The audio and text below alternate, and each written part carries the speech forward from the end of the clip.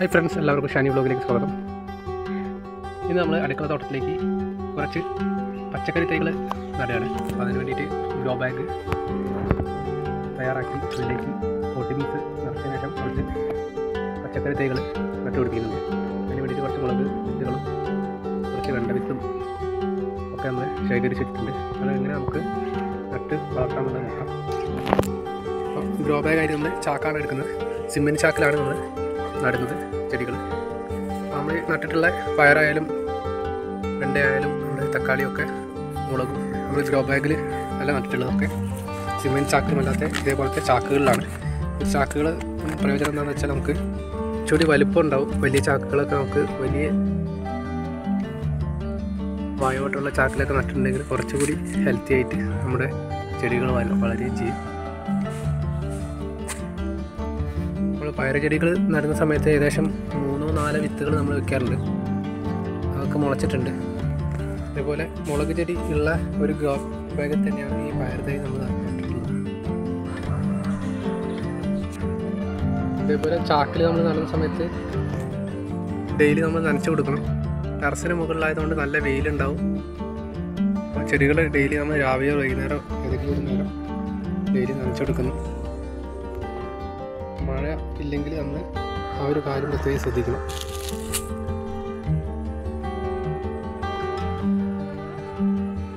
നമ്മുടെ കയ്പയുടെ വെള്ളിയാണ്.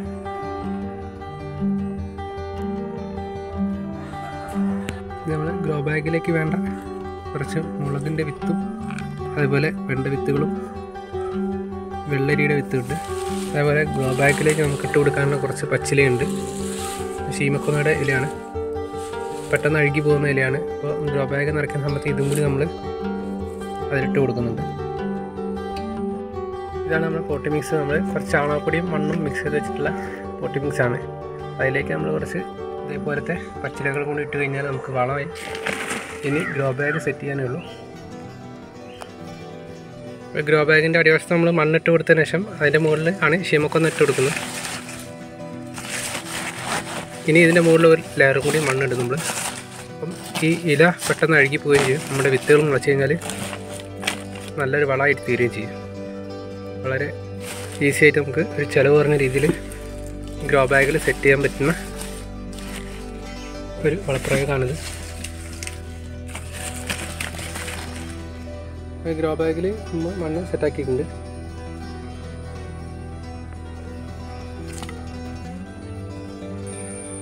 കുറച്ച് വെണ്ട വിത്തും വെള്ളരി വിത്തും നമ്മൾ ഗ്രോ ബാഗിന്റെ ഓരോ ഭാഗത്തായി ഇട്ട് കൊടുക്കുന്നുണ്ട്. ഇനി ഇതിന്റെ കൂടെ തന്നെ നമുക്ക്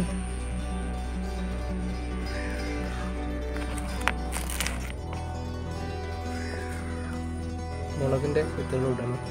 ഈ മുളകിന്റെ വിത്തുകൾ നമ്മൾ തൊലി കളഞ്ഞിട്ടാണ് ഇട്ട് കൊടുക്കുന്നത്.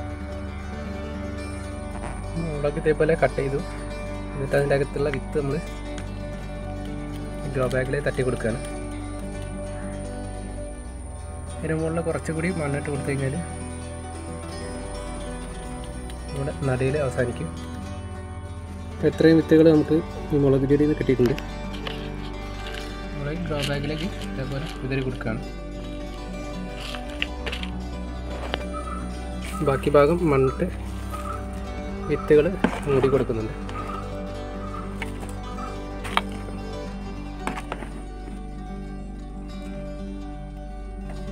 ഇനി ഇത്രയും ചെയ്താൽ മതി. വേറെ നമുക്ക് ദിവസം ഒന്ന് നനച്ച് കൊടുത്താൽ മൂന്ന് ദിവസം നാല് ദിവസം ആകുമ്പോഴേ നമുക്ക് വിത്തുകളൊക്കെ മുളച്ച് കിട്ടും. അതിനുശേഷം നമുക്ക് കുറച്ച് മുളക് വിത്തുകളൊക്കെ മാറ്റി നടുകയും ചെയ്യാം. ചെടികളായി കഴിഞ്ഞാൽ ഈ ചെടികളൊക്കെ നമ്മൾ അതേപോലെ ഗ്രോ ബാഗിൽ മാറ്റി നട്ട് കൊടുത്താണ്. വഴുതനയുടെ ചെടിയാണ്. പയർ എല്ലാം ഒരുമിച്ച് തന്നെയാണ് വെച്ചിട്ടുള്ളത്. തക്കാളി.